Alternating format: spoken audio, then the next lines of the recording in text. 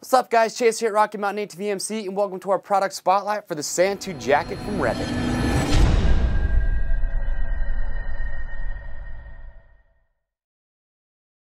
Alright guys, so this is the Sand 2 from Revit. Now Revit is known for making extremely high quality, high technical gear in that adventure lineup. We love this jacket, it's very popular, and that's why we want to talk to you guys about it today. So I got my man Zach here with me. Zach is 5 foot 9, he's 215 pounds, he has a 43 and a half inch chest. He's wearing an extra large in this jacket. Now when we talk about sizing with this jacket, I'm going to say this jacket goes more towards a European cut, which means it's going to fit a little bit tighter in the chest and torso area and is not going to be as generous in that hip as some of your American cut jackets. So keep that in mind.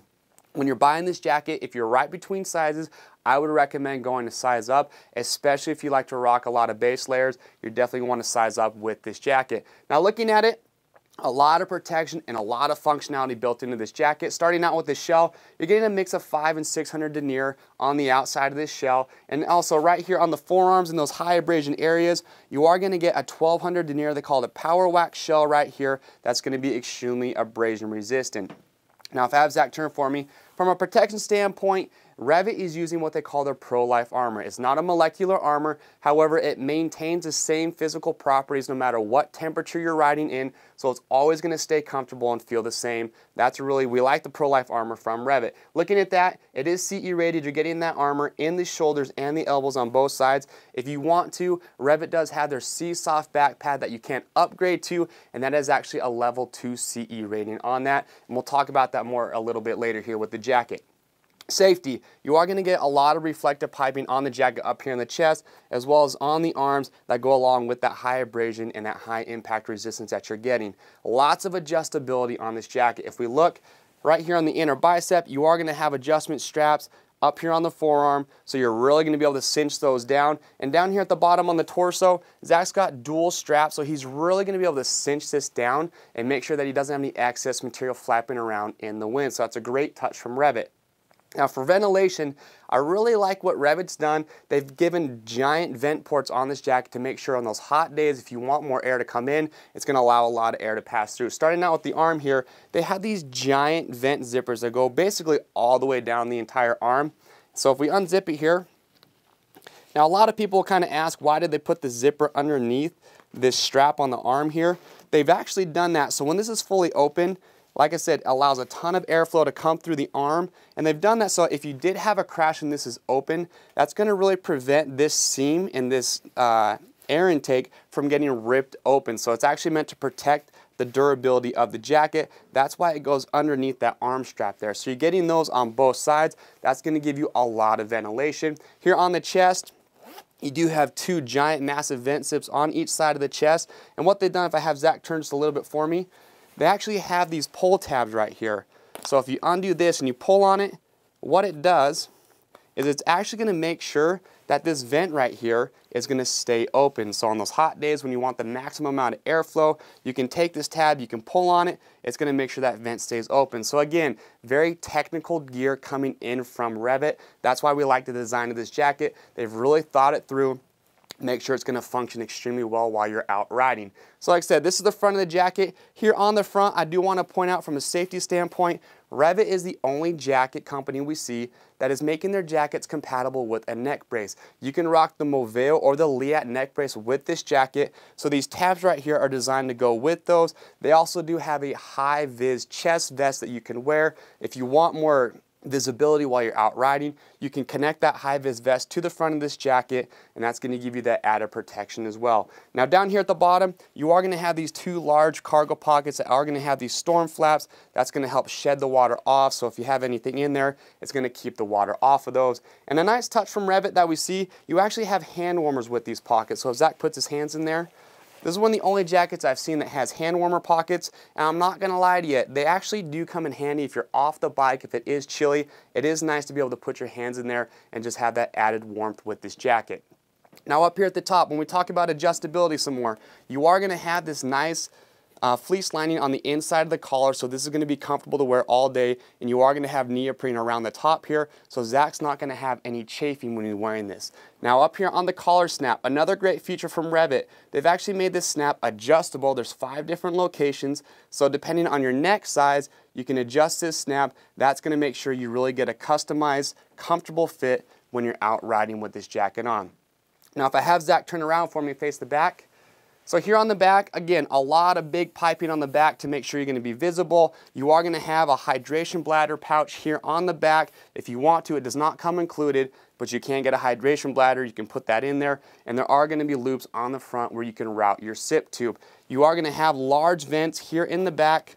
Again, that is going to make sure that this jacket is going to have a lot of airflow and it's going to stay cool on those hot days. Now down here at the bottom, you are going to have a nice big stretch panel here. It's going to make sure it stays comfortable, it fits well.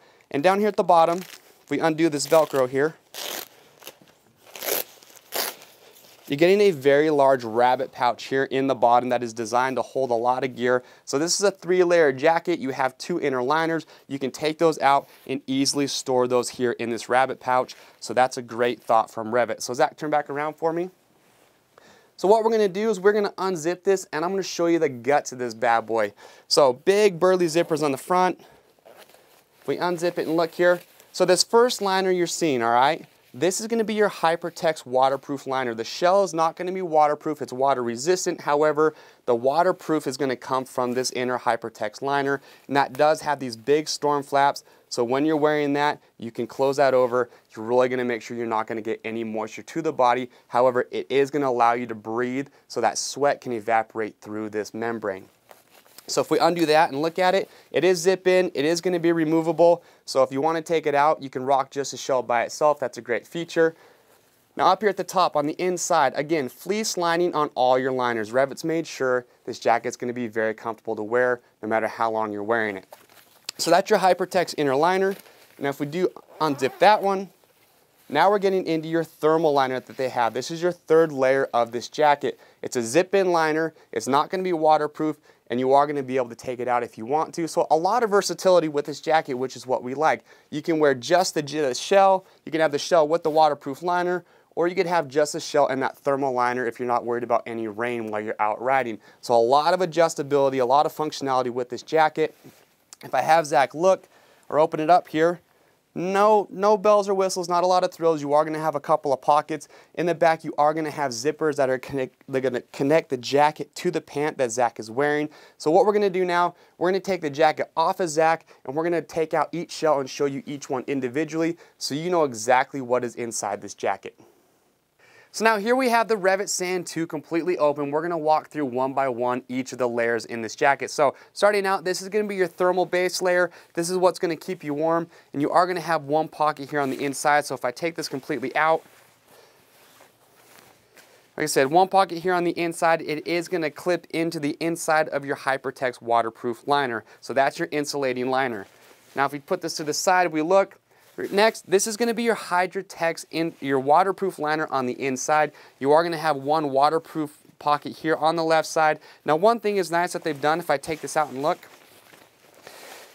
if you don't want to wear the thermal liner and you want to wear just the Hypertex waterproof liner with the shell, they still have jacket to pant zippers here on the inside of this. And you actually have one long and one short. So that's going to be your preference which one you want to use. But you'll still be able to connect that to the pant if you don't want to wear the thermal liner. So that's going to be your Hydratex waterproof lining on the inside.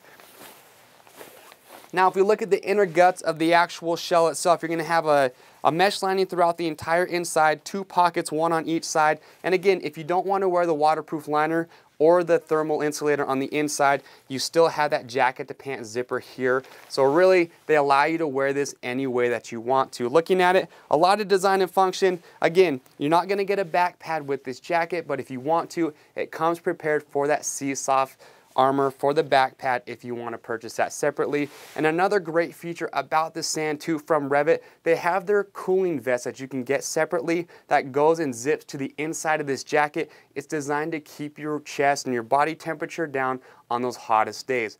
So this is a Sand 2 from Revit. Now remember, go to our website at RockyMountainATVMC.com where you can shop and see the full details on this jacket. And we also have the pant that matches it, so make sure you check those out as well. Look at the sizing guide so you know what size you are gonna need to order. If you are concerned about fit, we have our fit guarantee. So if you get a size, if you're not happy with it, if you wanna go up or down, just send it back to us. We will make sure you get the correct size on that first exchange free of charge. Now the last thing I need you to do before I let you go, it's real simple. Click and subscribe to our YouTube channel. Leave us your thoughts and comments on this gear. We'd love to hear what you guys have to say about it. I'm Chase here at Rocky Mountain, and we'll see you on the trails.